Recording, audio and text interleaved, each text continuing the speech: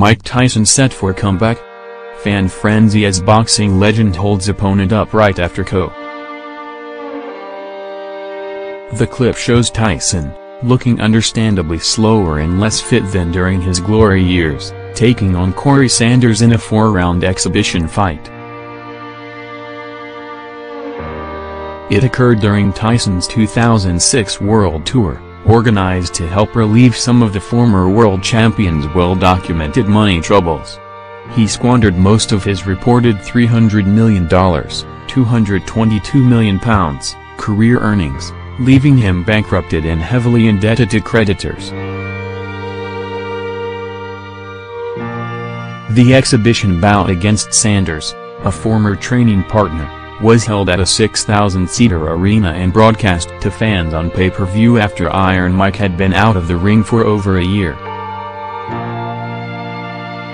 While clearly past his best, viewers could see that Tyson was taking it easy on Sanders in order to put on a show for the fans.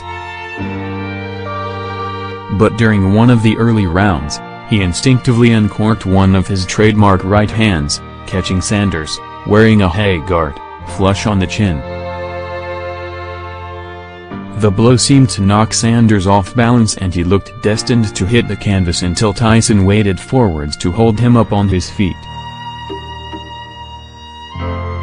The clip has been seen by more than 100,000 people since it was reposted online earlier this week.